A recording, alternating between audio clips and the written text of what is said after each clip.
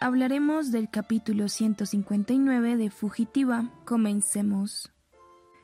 Este capítulo comienza con Mustafa. Él sale de la casa, está alejándose muy triste y Asille sale atrás de él y le dice, Mustafa, espera.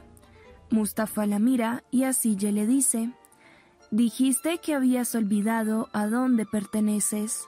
Tú perteneces aquí. Asille se pone las manos en el corazón. Mustafa le dice, ¿Me dejarías regresar ahí? Asille le dice, Está un poco roto, dañado. Mustafa le dice, Yo lo arreglo.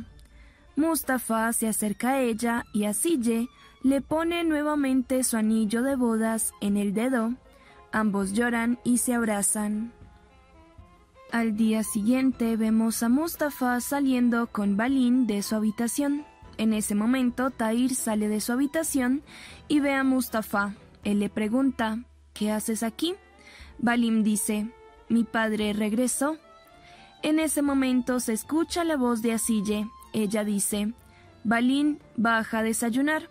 Mustafa grita, Ya vamos, mi amor. Tair mira feliz a Mustafa y Mustafa le dice, Cuídese, loco Tair.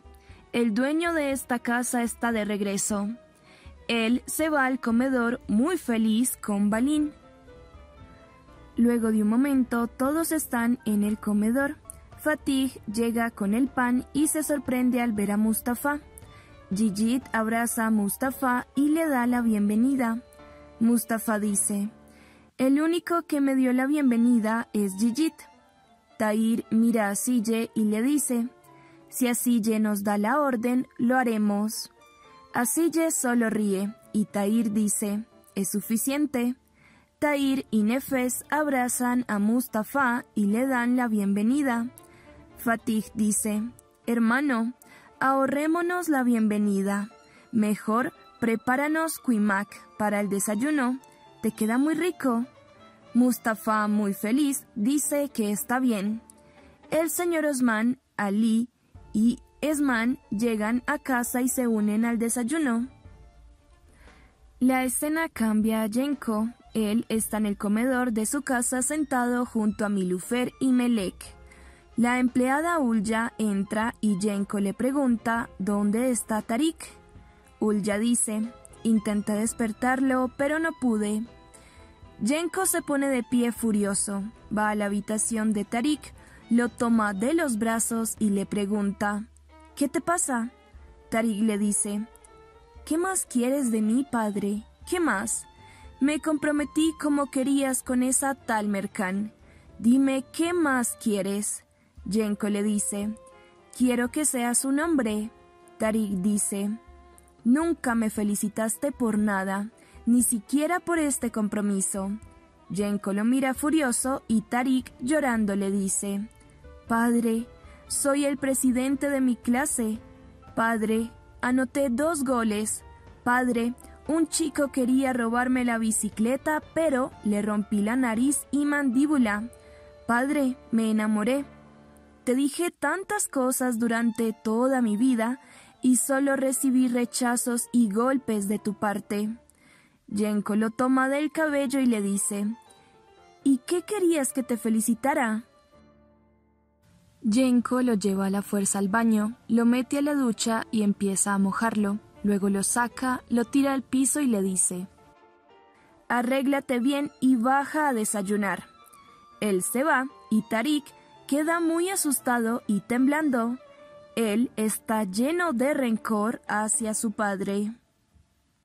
Tarik baja al comedor, toma asiento y Yenko dice, Parece que te olvidaste que todos nos sentamos a la mesa a la misma hora. Yenko mira a Milufer y le dice, Tu tarea de hoy es llevar de compras a Merkan. Yenko mira a Tarik y le dice, Tú iniciarás todo el trámite del casamiento hoy mismo. Yenko se va y Milufer mira a Tarik y le pregunta, Dime la verdad, tú y tu padre planearon el secuestro de Hassan, ¿verdad? Tarik le dice, así fue. Milufer lo mira furiosa y Tarik le dice, según escuché, usted tiene que ir a hacer las compras con Mercán. No esté enojada, señora Milufer. Al igual que usted, yo también estoy en esta prisión. Yo porque nací aquí y usted porque quiso entrar.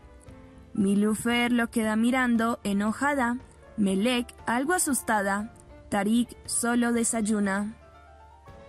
Por otro lado vemos a Ferhat, él está frente al mar, mira una foto de Hassan en su teléfono y dice, me dijiste que Zeynep no me dejó por dinero, sino porque yo no era digno de su amor. Pero haré que te tragues tus palabras. Él solo mira su foto fijamente. Él está enojado y enamorado de ella. Regresamos a la casa de los Kaleli. Vemos a Sille en su habitación junto al bebé Jeren.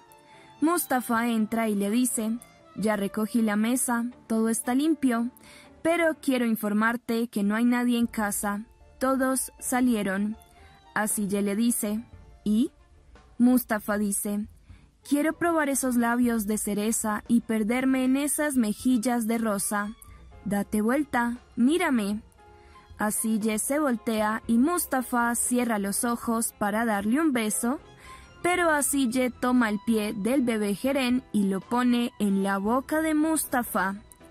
Mustafa se enoja y dice, Asille, dame ese beso. Estamos casados, me lo merezco. Asille dice, Está bien, dame un momento. Haré dormir a Jeren. Asille lleva a Jeren hacia su cuna. Luego se acerca a Mustafa y le dice, Voltéate. Mustafa se voltea y Asille le grita, Largo de aquí, fuera. Ella empieza a empujarlo, lo saca de casa y Mustafa le dice, ¿qué te pasa? Asille le dice, aún tienes que acumular muchos méritos para ganarte un beso. Ella entra a casa y Mustafa solo la mira y se va al trabajo. Ya es de noche. Hassan recibe una llamada de Davut, el guardia de la granja de Yenko. Él le informa que su caballo, llamado igual que ella, Hassan, no está en el granero. Hassan se asusta y sale rápidamente de casa y va a la granja de Yenko. Por otro lado, vemos a Ferhat. Él está muy cerca a la granja y tiene a su lado al caballo de Hassan. Él dice, Vendrás a mí y haré que te tragues las palabras que me dijiste. Hassan llega a la granja de Yenko y junto a Davut buscan a la yegua Hassan. Hassan dice, esa yegua no pudo abrir la puerta por sí sola. Seguro se la robaron.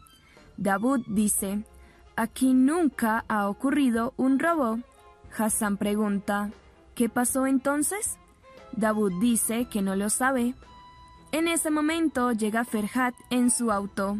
Él saluda a Davud y Hassan le pregunta, ¿qué haces aquí? Ferhat le dice, vine a saludar a Davud. ¿Acaso no puedo? Hassan le dice, a esta hora. Ferhat la mira enojado y Davud le dice a Ferhat que la yegua de Hassan escapó. Ferhat dice, qué lástima, pero tú lo sabes muy bien, Davud. Los caballos no escapan si no tienen una buena razón. Seguro no la consideró digna de montarla y se fue. Los animales son inteligentes, Davud dice. Iré a buscar al caballo. Él se va. Ferhat se acerca a Hassan y ella le dice, Tú te llevaste a la yegua. Ferhat le dice, No sé nada de eso. Hassan le dice, No te creo. Lo hiciste solo para vengarte de mí, ¿verdad? Ferhat le dice, Me tienes sin cuidado lo que creas. Ferhat le dice, Amas mucho a esa yegua, ¿no? Hassan le dice, Eso no te importa. Ferhat dice, Davud alimenta esa yegua, la cepilla, la quiere y cuida. Pero tú llegas aquí diez minutos, la montas y luego te vas. Hassan solo lo mira y Ferhat le dice, Tú no eres la dueña de esa yegua. Ser dueño no es solo venir a verla y montarla diez minutos. El capítulo acaba con Hassan. Ella toma del cuello a Ferhat y le dice, Dime dónde está mi yegua. Ferhat le dice, ¿piensas que la tengo, verdad? Hassan le dice, sé que te la llevaste, estoy segura. Ferhat le dice, supongamos que es cierto, me llevé a tu yegua y no la traeré de vuelta. Tampoco te diré dónde está. ¿Qué harás al respecto? ¿Me harás ir al rincón del castigo como tus alumnos? ¿O me golpearás con una regla? Hassan lo empuja y le dice, Solo entiendes el lenguaje de la violencia. Ferhat le dice, Ese lenguaje fue el que te salvó la vida. Hassan le dice, ¿acaso yo te pedí que me rescates? ¿Fuiste por mí o por el odio que le tienes a Tarik? Ferhat, nervioso, dice, ni lo menciones. Lo que importa es que te salvé la vida y con una disculpa bastará. Hassan dice, ¿disculpas por qué? ¿Acaso lo que te dije no es verdad? Ferhat le dice, eres una entrometida. Hassan le dice, tú también lo eres, robando mi yegua. Lo peor es que estamos del mismo lado. ¿Quién sabe qué me harías si estuviéramos de lados diferentes? Me golpearías, ¿verdad? Se nota que te gusta golpear. Por tu cuerpo. Invertiste mucho para tener ese físico. Ferhat ríe y le dice, si tú invirtieras un poco de tiempo en ti, tendrías algo más, quizá un poco más de curvas en esas caderas. Hassan, sorprendida, le dice, ¿Qué diablos andas mirándome? Mejor vete a levantar pesas y a mirarte al espejo. Seguro hay mujeres a las que les gusta eso. Ferhat le dice, ¿entonces no soy el típico hombre que le gusta a la señorita Hassan? Hassan no le responde, solo le dice, ve a buscar a mi yegua. En ese momento llega Davud y Hassan le dice, este idiota robó mi yegua. Ella va corriendo a buscarla. Davud va atrás de ella y Ferhat solo ríe. Se nota que ambos están enamorados. Espero les haya gustado este resumen. No olviden suscribirse y activar la campanita de notificaciones para que no se